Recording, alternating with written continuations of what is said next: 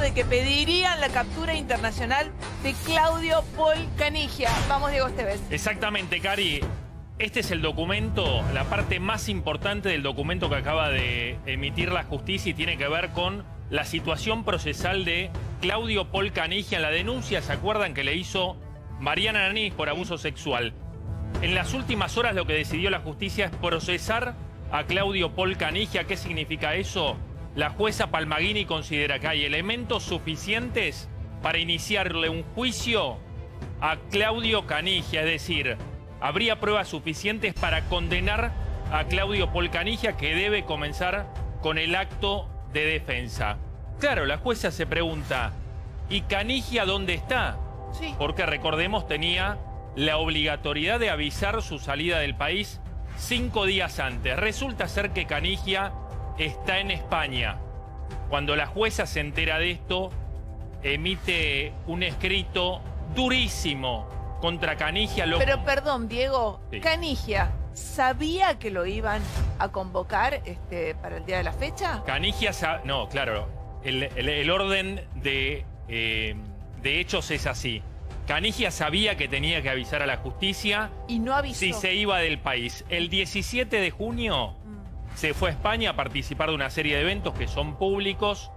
Cuando la jueza se entera de esto, porque le avisa claramente la defensa de Mariana Nanis, encabezada por Carlos Broiman, la jueza pone el grito en el cielo porque dice, no solo no me avisó, sino que, acá que, sino que además acabo de procesarlo en el día de ayer a última hora y no está en la Argentina. No. Convoca a Canigia para hoy Lo complica aún a las más 11 de la mañana dice urgente que se presente. Hoy, 11 de la mañana en su juzgado, Canigia, lógicamente, jamás apareció. Lo hizo su abogado, que me dicen, Fernando Burlando, que está bastante enojado con su cliente Sí. por este error grueso que cometió o esta omisión. Y la jueza le dice, ¿cuándo vuelve su cliente? El 8 de julio. Sí. El 8 de julio lo quiero acá.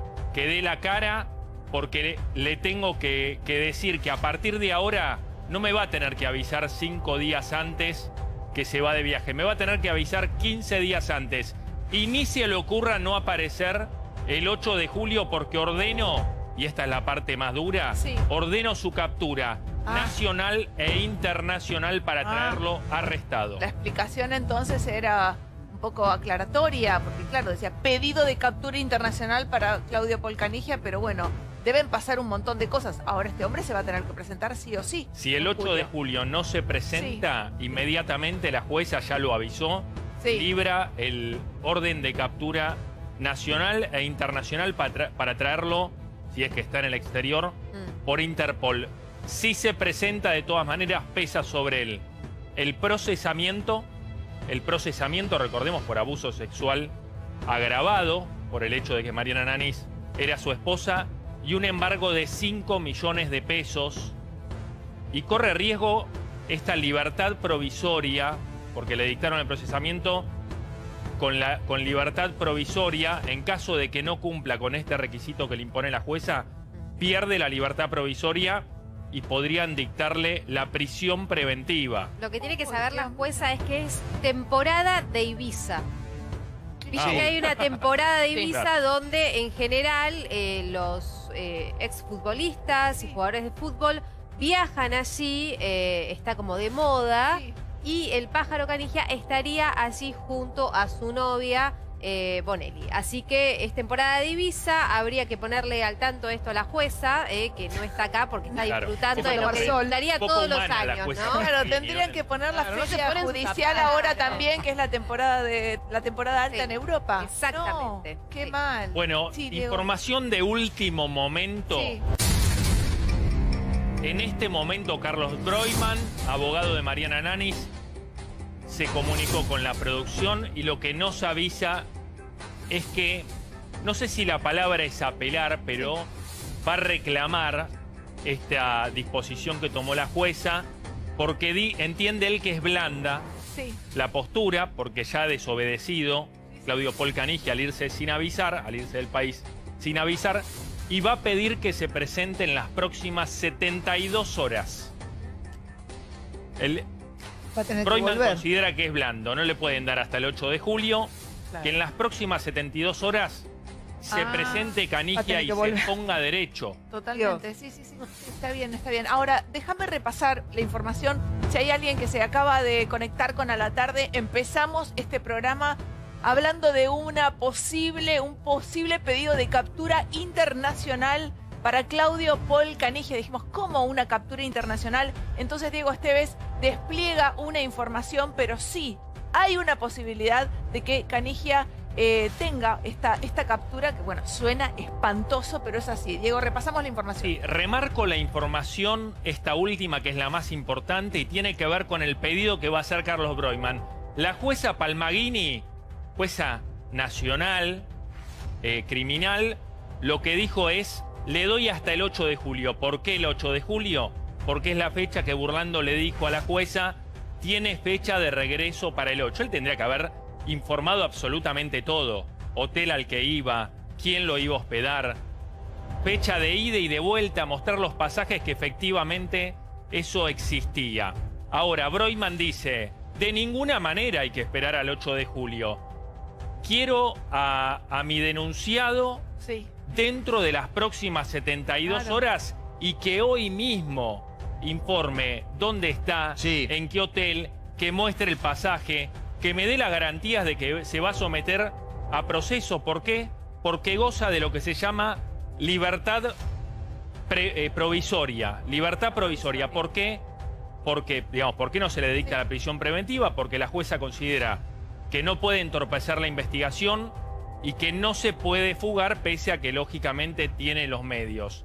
sí. Frente al procesamiento de ayer a última hora y que se agravó, que se agravó su situación, la jueza lo procesa y a su vez le dicta un embargo de Por cinco 5 millones millones De pesos. de pesos, justamente para eh, cortarle los medios que pudieran posibilitar una fuga, más allá de que uno sabe que Canigia dispone más medios, ¿no? Que esos 5 millones de pesos, incluso tiene cuentas en el exterior, pero Sí. bueno, es un monto simbólico que la jueza impone. Broiman dio un dictamen de sete- un ultimátum de 72 horas para que regrese a la Argentina. ¿A usted Canigia, parece que Canigia, con lo rebelde que es, va a aparecer en estas No. 72 horas, Cori? Mira, todo lo indica eh, el perfil, la información de contacto de Sofía Bonelli, la novia de Claudio Paul Canigia. Ubicación, chicos, lo dice claramente. Ibiza, estarían disfrutando de unos días de relax, de descanso, ¿por qué no? En, eh, en esta isla tan paradisíaca, tan hermosa, donde concurren en esta época del año, repito, muchos futbolistas, Sí. ex, ex, El jet set, Cori, el jet y set. también famosos, ¿no? Claro. Hasta Pampita también. Pampita no está en. Ibiza, exactamente. Carlos Reutemann no es un abogado más, es un abogado incisivo que sabe manejar lo que es eh, la justicia a nivel internacional, eh, apura, en este caso lo ha apretado a Canilla de alguna manera, y que Canilla, justamente estando en el exterior, va a tener que venir antes, va a tener que eh, responder a un embargo, pero además, ojo, Sí. porque tiene un planteo por parte de Fernando Burlando, su abogado personal, que por ahora no habló, por ahora se la está bancando, pero en la primera de cambio, ojo, porque deja de ser el abogado de Canilla, porque no está haciendo los deberes como tiene que hacerlo. Escándalo total, arrancamos el programa hablando de Claudio Paul Canigia, las noticias no son buenas, Eh, se habla de una posible captura internacional, Canigia debía avisar de todos sus movimientos a la jueza, pero se fue a España sin hacerlo y es por eso que están hablando de un pedido de captura internacional, nada más y nada menos para Claudio Paul Canigia, que lleva adelante, bueno, toda una demanda eh, que inicia su ex mujer, ¿eh? Mariana Nani. Repasamos la información bien cortita y picada, Diego, vamos. Bueno, la información es exactamente, la jueza hoy lo que acaba de decir es que Canigia se presente el 8 de julio. Está desacatando mis órdenes. Eso es lo que ha dicho la jueza, que ha sido flexible a- a la- a- según el punto de vista de Carlos Broiman, del abogado de Nanis, porque Broiman lo quiere dentro de las próximas 72 72 horas. ¿Qué obligación tenía Canigia de informar cinco días antes de irse? de irse del, del país, informar dónde se iba, qué hotel, mostrar pasaje de ida y de vuelta No lo hizo, no lo hizo, por eso la jueza le ha dado un ultimátum. Si no cumple, lo van, van a ordenar su captura nacional E e internacional.